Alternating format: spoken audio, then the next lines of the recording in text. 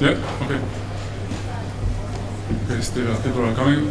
Thank you very much for coming. Um, AppSecIL is one of my favorite conferences. Uh, I'm always waiting for it uh, every year. And actually, this is my first time to give a talk here, so I'm really excited and um, hope to be uh, to go away. So this talk is about certain type of vulnerabilities.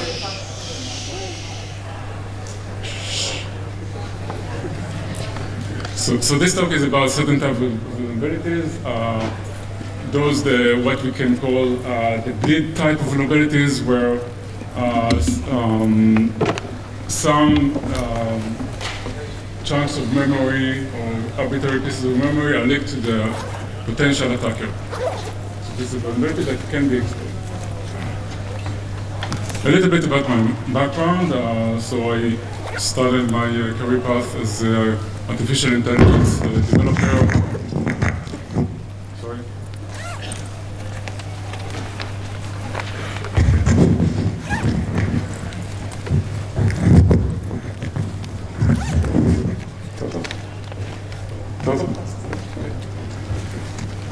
So, um, yeah.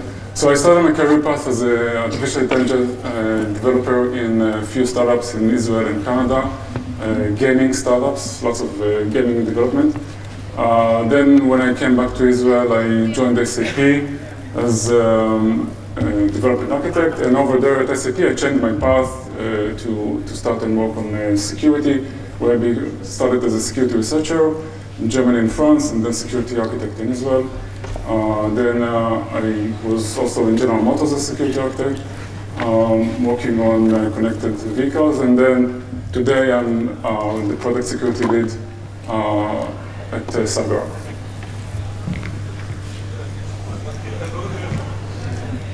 So I want to take you to England. The year is 2011. It is a New Year's Eve, and uh, where 2012 is just a few minutes away.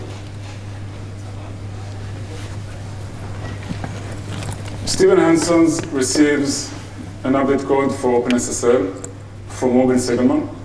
Robin Seggelmann is a respected academic uh, who's an expert in communication and uh, encryption protocols. And uh, Stephen Henson is a co-founder of OpenSSL that was founded in 1998, and is still its uh, lead developer till today. So it's almost midnight. New Year's Eve, uh, everyone is partying outside. Stephen Henson reviews the code that just got and submits it.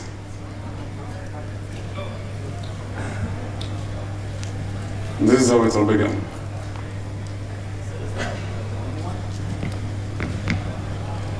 So moving forward in time, about two and a half years later,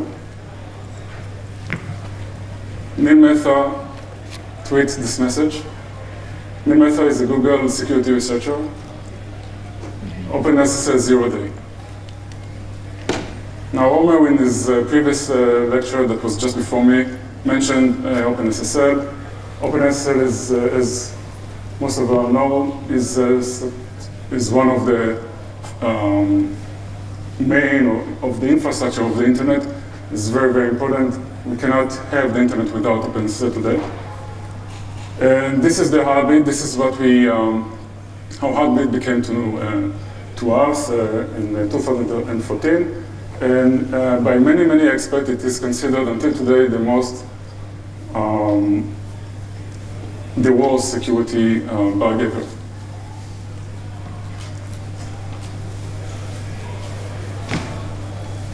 So we're going to talk about a little, uh, a little bit about Heartbeat and to understand what it is, how it happened.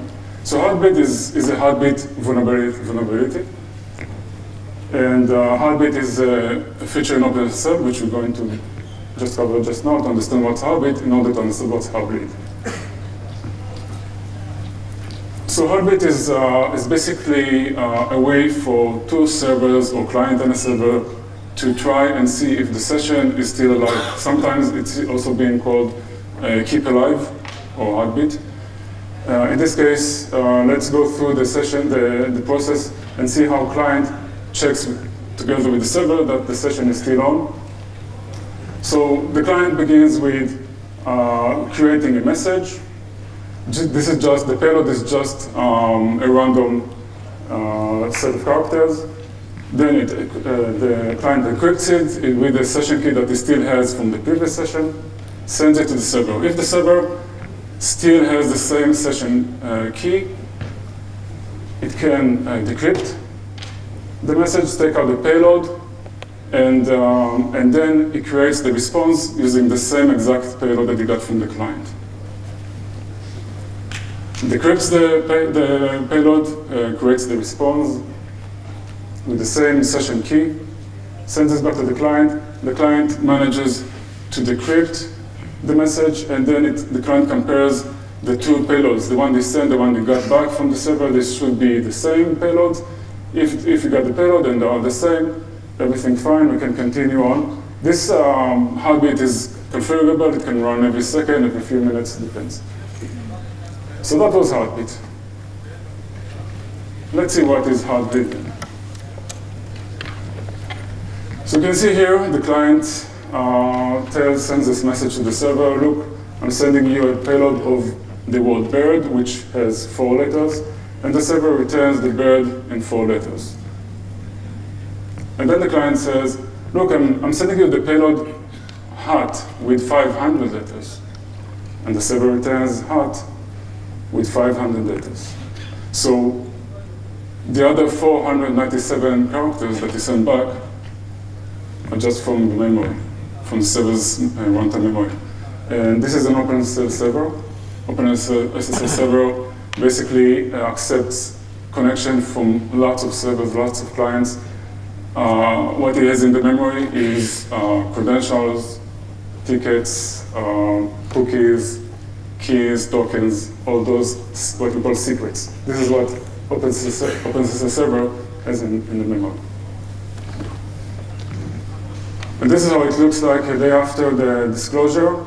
Uh, someone checked on Yahoo uh, server, and you can immediately see that uh, you can get out all the secrets from Yahoo servers. So it's not only Yahoo, uh, it was about 70, sometimes people say 80% of the servers on the internet were exposed to Heartbleed for uh, two and a half years. Google, Yahoo, uh, Facebook, banks, you name it. So what went wrong?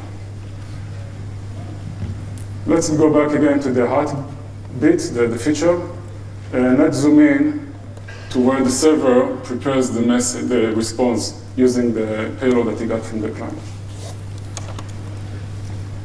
So here we see on the left side the client, um, the, message, the, the message after it was decrypted from the client. We see that this is very high level. Of course, this is just pseudocode.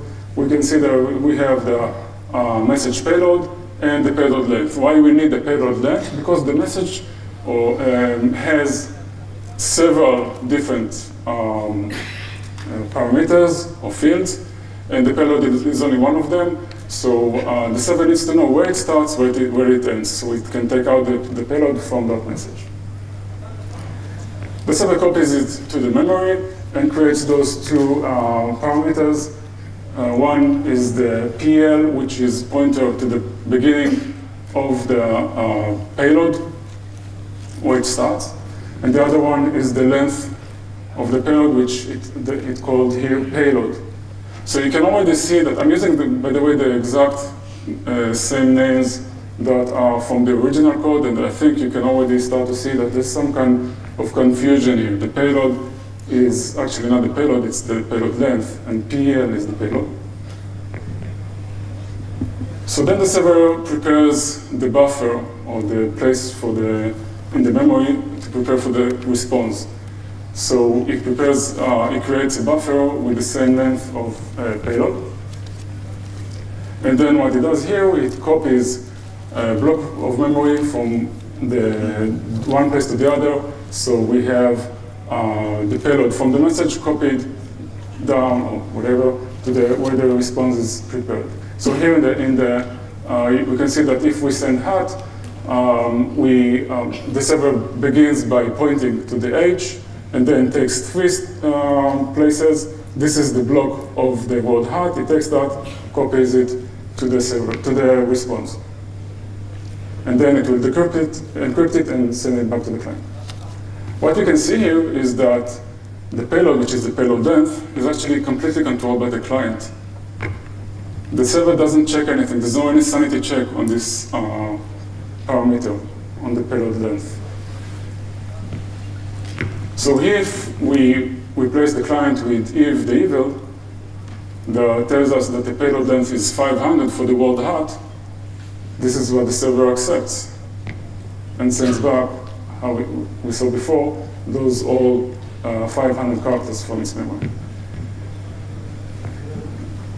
So um, the reality it was that um, the, the blocks that the server could send, the, the maximum uh, length of, of block of memory, because of the way the heartbeat feature works, is 64 kilobyte of memory. That's a lot. So let's view uh, a short video of how heartbeat uh, attack looks like. So um, I prepared an Nginx server. They give me a Camtasia, so I cannot not use all the features. It's, it's amazing tool. So here I prepared an uh, Nginx server that is vulnerable to OpenSSL, to this heartbeat OpenSSL. I'm using the best certificate there, there is, and I'm using you know TLS12. So the problem is not with the certificate, and it's not with the TLS12. It is with OpenSSL vulnerability. This is just to show you uh, the, what, what the, the, issue is here. So this is the, the code that we use for that uh, page here. We have the form where we put in data, I want just to show you that uh, the word password there, that the value of password is not used anywhere, it just go to the server, stays there in the memory. We don't do anything with it. Uh, and here I'm going to use Nmap. Nmap is a tool that can check the, the uh, environment, tells me if there are any servers uh, and if they are vulnerable to anything, and we found out that uh, this server is vulnerable to uh, Heartbleed. And then uh, we can run a Python script that exploits the heartbleed. And basically, it tells the server, send me back that memory. Okay, so now we can see the memory is quite empty because we didn't send anything to the server, and now we're going to send something to the server. We're going to fill out this form um, and send that, that, data to the server. So this, in this case, it's a victim. It's one of the users that use that uh, OpenSSL server to connect with it and send it that data. Um, and then we submit, we, we can look at the post request. This is the cookie that was uh, returned by the server. We see that it returned some of the data, and then with the parameters that we sent, we can see that we also sent the password. So now, um, the next move of the attacker, which is someone else here, is again to run the script um, that exploits Heartbleed and then we can see here that we actually get something in the memory. And this is exactly what we sent. If we look at it, this is now in the attacker's hands. Uh, get the cookie, all the, all the uh, data that we sent, and also the password.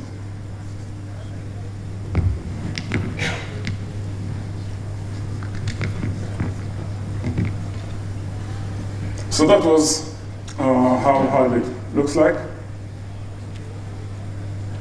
And what we saw here is that the server sends its secret to the client. But it gets worse than that. What can be worse than server sending its secret to client? So, yeah. So immediately after this uh, disclosure of Heartbleed, in the community people started to ask, well, this is a lot of memory that can be sent back from the server to the attacker. 64 kilobyte of memory, and you can send those requests again and again and again. Um, you can really exhaust the whole memory and download the whole uh, server's memory down. So there were discussions in the community whether it, is, it will be possible to download the private key of the server. And Cloudflare, a CDN company which we'll look at a bit later uh, as well, uh, decided to set up a server, a Nginx server, again, um, uh, in their cloud, and uh, it was vulnerable with, with this version that is vulnerable to uh, Heartbleed, and ask the community, go ahead, attack that server, let's see who gets the, if, if someone can get the private key. A few hours later, two guys downloaded the private key, and a few hours later, another two guys downloaded the private key. And um, uh, that was really a shocking thing, because private key is basically the fingerprint of the server, so now uh, if I had the private key, I could maybe uh, spoof your bank server, right, and you send me all the information. Uh, we don't know anything. Uh, could be could be Google, could be anything that was uh, spoofed out there. And this was for open for two and a half years. But it's still getting worse than that. So what can, go, can be worse than that? Remember that we had 70 or 80% of the servers on the internet exposed to that, to that um, vulnerability. What is worse is that there's no audit. We don't know if, some, if someone, if something was exposed or, exploited. We really don't know. We don't know if all our, my Gmail uh, emails or, or, or, my secrets, you know, or, or my bank account was compromised or not, because Heartbeat since it was a side feature of, Heartbeat of, uh, of OpenSSL, they decided not to have audit on it. So we actually don't know. And that was open for two and a half years. Many people now, after you know um, all the latest findings, they, they think that maybe that could be also a, a, a backdoor that was paid by some um, country to, to make it happen. We don't know. So what we can learn from that?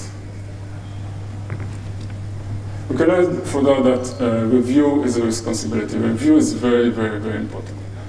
And it's, it's very good if you have your reviewers as your senior developers do the re review for the other developers, for the more junior developers.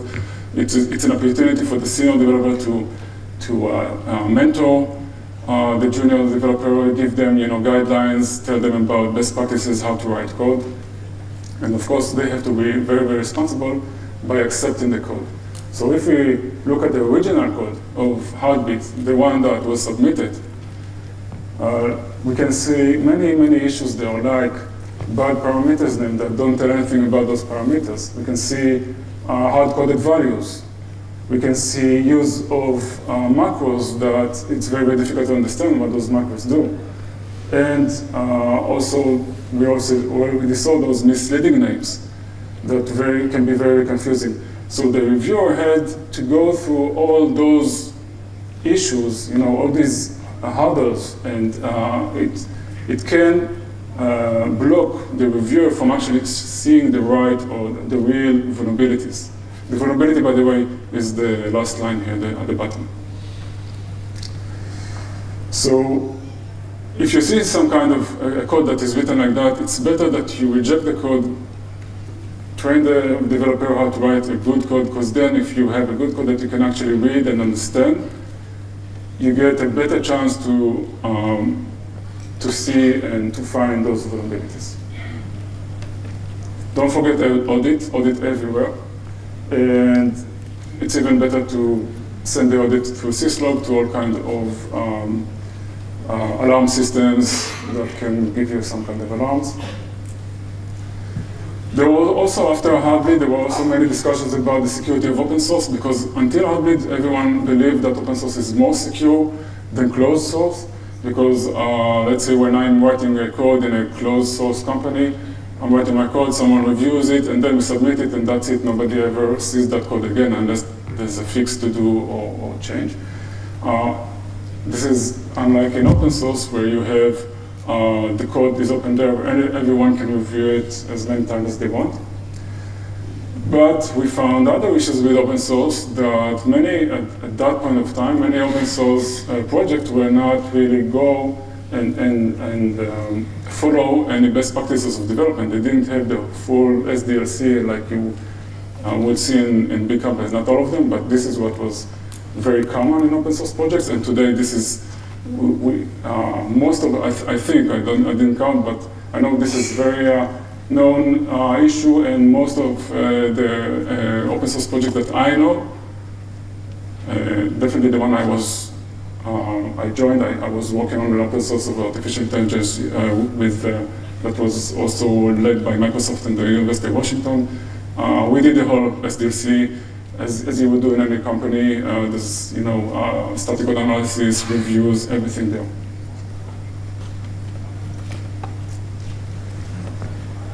So we're moving ahead in time. We get to this year, 2017, uh, February 8th. And we get this tweet by Filippo, uh, Filippo Valsorda from Cloudflare. He tells us about Ticketbleed, Ticketbleed that is found at uh, F5 big IP uh, appliances. So let's see what Ticketbleed is.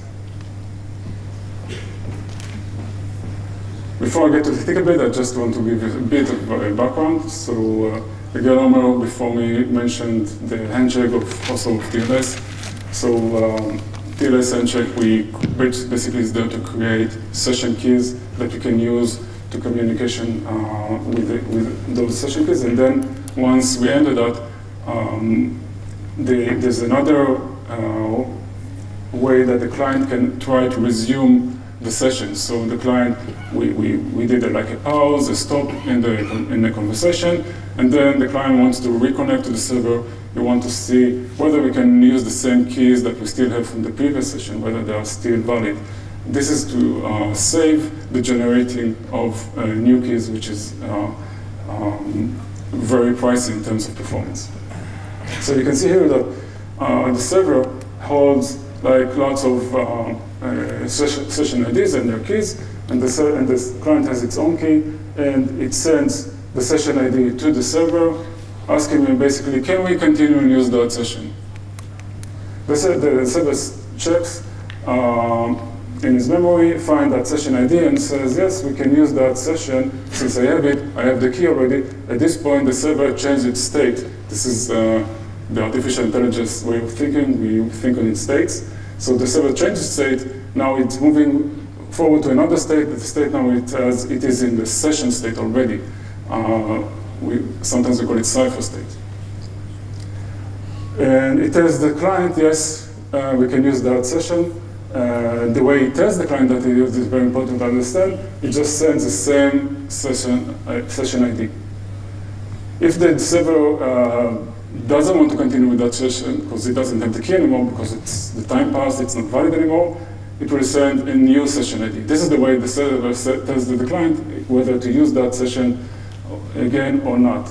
So in this case, we want to use the same session, uh, so the server just returns the same session ID that it got from the client, which is the session ID that the server gave it before when they just created uh, the, the keys and, and did the whole handshake. So at this point, also the client uh, got the session ID. It compares, it compares the two session IDs, the one that he said, the one that he got. Uh, if they're the same, it also moves to the state of session, and uh, both can continue from now on top with the same keys that they had from the previous session. So now let's see how this protocol works with tickets. So tickets are there uh, to save on the server side. There are servers that connect with lots and lots of clients and servers, and they don't want to uh, spend the memory and resources of managing uh, sessions on their side.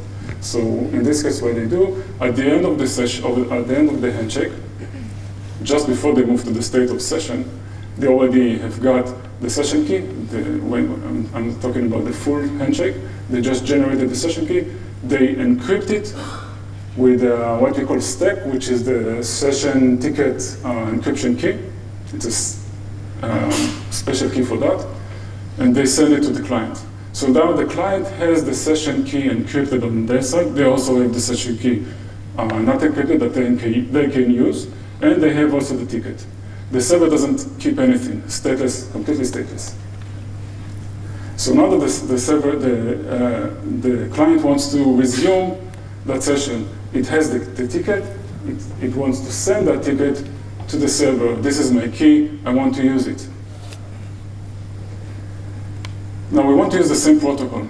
if you remember the same resume TLS protocol, the protocol told us uh, you have to set a session ID. If, it, if uh, the server accepts that session ID, it will return the same session ID. If not, it will return you a new session ID. So we, we want to use the same protocol, we don't want to create a new protocol, and that's, and now we send a ticket, we don't have a session ID. So the, in this case, the, the client generates a session ID. This is generated by the client, sends it to the server, the server gets that, sorry, the server gets that session ID with the ticket. If the STEK is still the same one that it can uh, that used before to encrypt that uh, ticket, it can now decrypt the ticket. It has the key, both sides have the keys, and they can continue uh, the session. If not, the session, the, the server will just send a new session ID telling the, the client, uh, let's go ahead and go to the full TLS handshake.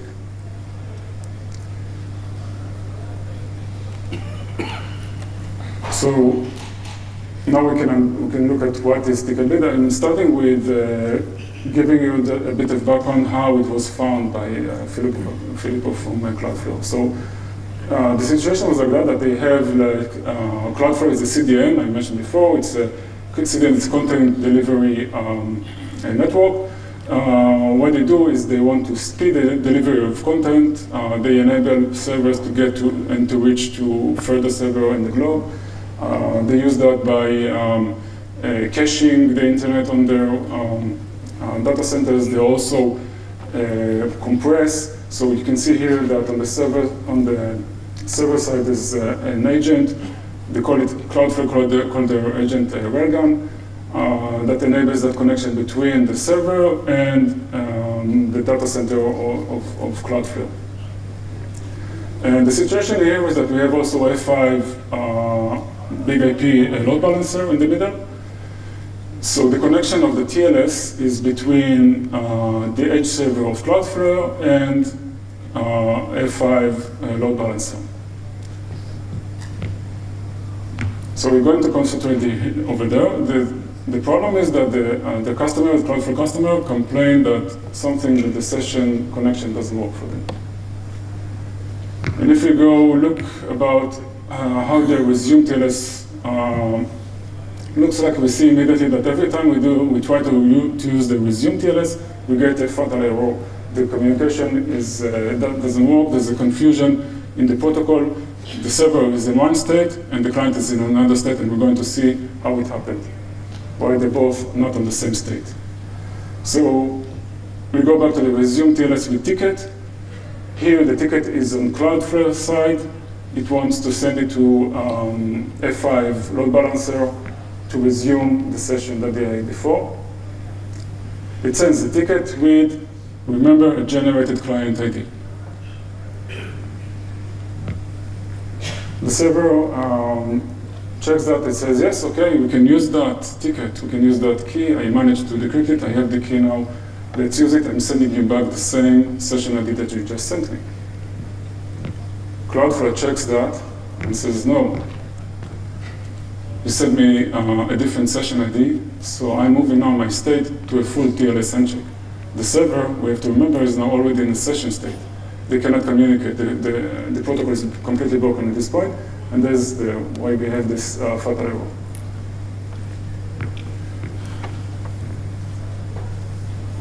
So let's see what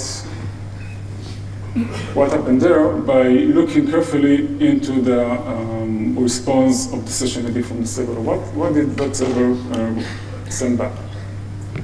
So this is RG is welcome. This is what Cloudflare sent the, the, the, session ID they sent. You can see here 16 bytes of session ID. This is uh, the session ID that uh, Cloudflare sent to uh, F5LB. And this is the session ID that F5 returned. So Railgun sent 16 bytes, F5 returns 32 bytes. You can see that the first 16 bytes of F5 are exactly the same as the one they got. So they really want to go ahead and use that session It's the same session ID, but they have now another uh, 16 bytes over there. What are these 16 bytes? And this is what made the confusion on, this, on the client side, on the Cloudflare. It suddenly it got something else than it sent. And this is why he, the, uh, Cloudflare decided to move to uh, full TLS engine. So these are these uh, 16 bytes are memory. So apparently F5 always returned 32 bytes of session ID, no matter what you send them. So the client, because this is a generated session ID by the client, it can even also uh, send them a session ID by one byte and get back 31 bytes of memory. So um, F5 is not completely wrong there. If you read the um, description of uh, the protocol, the, the, protocol really um, suggests to use 32 bytes of session ID.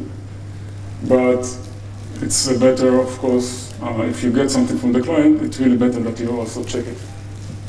You have to check what you get there. So um, these are the appliances that were exposed. It's all the BIG-IP family of products of, uh, of F5. Of course, this is fixed.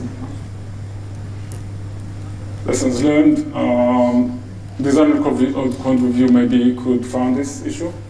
Also, what I thought is maybe dynamic analysis and fuzzing, sending different uh, length of session IDs maybe could bring this up, this issue, before we release it to the customer.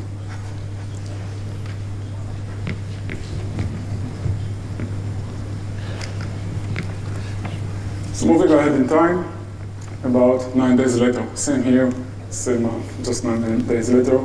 Now we get this uh, tweet by Tavis Ormandy. Who knows Tavis Ormandy?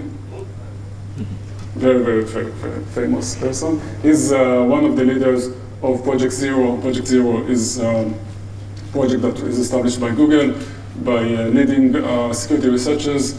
They want to make the internet more secure and he finds all the time issues. He really finds all the time. If you if you uh, connect with him on the on the Twitter, it's a treasure. So we saw that tweet. Could someone from Cloudflare Security urgently contact me? If this is the worst thing that you can get on the Twitter, you really don't want it. It's a nightmare to get something like that. And this is how we came to know Cloud Bleed. So Cloudbleed is uh, with availability in Cloudflare. We mentioned Cloudflare before, three times already. This is the third time now. So it's really uh, funny. I'm not working for them. But. So again, CDN, um, on top of uh, making connection much faster and uh, performance-wise, they also give a lot of security um, help to their clients. And uh, so it's also a security um, services. And, and Tavis says, look, Cloudflare, have been leaking customer HTTPS sessions from us, from Uber, 1Password, Fitbit, OkCupid. You really uh, put it on the internet, he marked it, but uh, there were some messages from OkCupid of people, you know, full messages. This is how uh, a page look like. Usually you won't see that, but in this case, you can actually see the leaked memory on the page. Usually the page doesn't have something to show it, but it's always there. Uh, get with a response from the, from the server. So a lot, a lot of memory coming from Cloudflare, leaking, leaking from Cloudflare. Now, this is a closed source. I don't have the source, but I managed to do some pseudocoding uh, after you know, reading a lot of uh, blogs by people from Cloudflare and by um, Tavis Ormandy, so I managed, I think, to understand what happened there. And this is what I'm going to show you now. So Cloudflare, they used the, uh, 10 minutes? Thanks. So Cloudflare used um, a third-party library. That library is uh, uh, used for many things. Here, what we can see is to check whether we are at the end of page. At the end, it's checking at the end of, of buffer, but use it to check whether we are at the end of page. Here, uh, what we, um, the P um, uh, is our current character, and PE is the character at the end of the file, okay? So we can, here we can increment P step by step until we check whether we are uh, at the end of file, whether we are at PE, okay? We want to know that, and then we go to some kind of end of file smart handling. So anyone sees an issue here? to see? He was already at PE before you hit that cut. So, so that is not the issue. P, P is uh, like a, it's, it's a, like a pointer, and P is we'll see al- al- almost uh, we'll see uh, immediately that we know of them. The problem here is the equal sign. So this is basically we check buffer, okay, the end of buffer. You don't want to use equal sign because um, if in the code we manage for somehow to uh, pass PE, because we incremented P a bit further, we will never be equal to P anymore, right? So we will just continue, we'll never be again equal to PE, and therefore this is a classic way to create a buffer overflow, or buffer overrun, depends if you read it right. The better way to do it is this way, okay? Uh, bigger or equal, so even if I pass the end of the buffer, I know to stop over there and not to continue. So let's look quickly on, the, on this pseudocode here. Um, this is a, um, a parser that Cloudflare wrote, and they use that library that we just saw. So the par- parser basically goes on the HTML, tries to understand what uh, um, tags they have, and do some kind of smart things with them. So we have one tag that ends uh, with the right end of tag sign, and also at the end of file. This is a very extreme situation. This is what also Cloudflare said. Look, this is a very. It's a it's an end of tag, end of file, and only only if the end of tag is is wrong. There's an error there. Okay, so this is we're going to look at how it happened. So. Um, Let's run the script here, then let's run the, the code here. It goes on this tab, okay? And then it checks whether uh, am I on the end of, of uh, did I find the uh, end of tag sign? Yes, I found it. Let's do some, something very smart with this tag now. And also I want to check whether I'm at the end of the file. So now, before I'm going to check whether I'm at the end of file, I'm moving that pointer one step backward. Why do I do that? because we saw before that the library that we use to check whether we are at the end of file is actually incrementing it one step further, right? So we want to stay on the same place to check whether we are at the end of the, of the, file. That's why we moved it one step backwards, and now it's, it's moved one step forward. We're at the same place. We are at, uh, equal to P. We are at, uh, the, at the end of the page, and um, do something else with it. Ba- Basically, stop reading. Now let's look at the situation where it end, the tag ends in the wrong way. So we got to the wrong sign. There's uh, error handling over there. Look what we forgot. We forgot to uh, move the pointer one step backward. And now we also have this uh, incrementing of the pointer even further. We already passed the end of file. You can see that? We already passed the end of file. We'll never be again at the end of file. We're already after it. So we're just reading and we'll continue and read the, the content and we just send it away to the client. So in this case, because it's Cloudflare, it's multi-tenant, lots of uh, um, uh, different clients, different people connected. They just send information of other people to that, to that client. And that's all from, of course, from memory. And you can see that we had two issues here. Uh, we had to have each one of them is, you can say, maybe it's slow, but together they created some very uh, critical impact. Uh, one of them, if we could uh, fix one of them, or if we had only one of them, we wouldn't have that issue that we just saw. It's the, the, the combination of both issues. It's really rare condition to have something like that. Lesson uh, code review again, all the time. Code review is very, very important. Unit testing, unit testing we use to test extreme cases. Maybe the, this is an extreme case that could be found using unit testing. So, five minutes to end, we, have, uh, we are in the summary. So we wanted to, to make a connection between a client and a server. Here we see it's an open connection.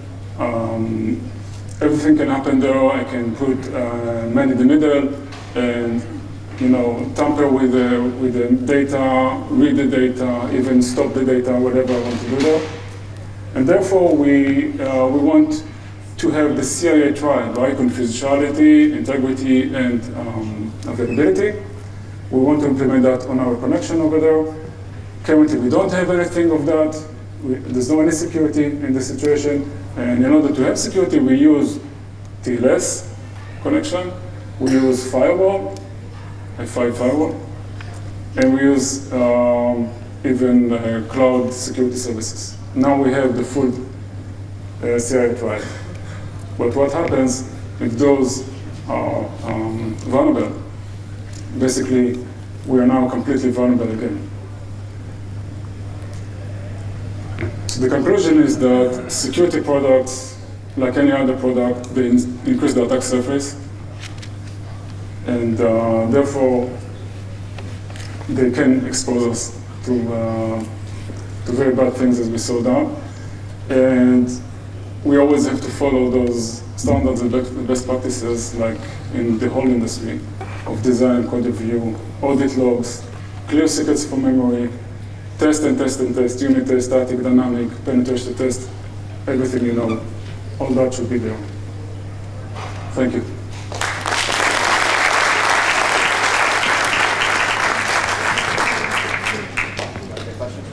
Yeah, we have uh, two minutes for questions. Ticketbleed. Everything was clear. Sorry? Oh, sorry, Nancy. So partly sort of lit a fire under OpenSSL. There was a fork to LibreSSL, and OpenSSL started cleaning up their act. Uh, How well have they done? OpenSSL. So of course they fix that. OpenSSL is uh, okay. So this this was very interesting uh, thing because uh, after Heartbeat, people understood that OpenSSL is really the infrastructure, one of the infrastructure of the internet, and they created uh, a, a group of um, I don't remember the name. I actually had it somewhere here. Uh, that is sponsored by many many companies to be able um, to create um, a bug bounty on those infrastructure open source of the internet because it's open source, it couldn't do anything like a, a bug bounty. And today, if you find an issue with the OpenSSL, there's a consortium of companies that can um, that can give you something. So this is something that's changed. To understand, we understand now the importance of OpenSSL and, and those kind of infrastructure things in the internet, and we also want to um, to uh, work with the community in order to uh, make them better. As you guys are leaving, we're gonna have a short uh, coffee and pastry break here, outside, and down in the garden, and, and so on. For 15 minutes, we're shortening a short.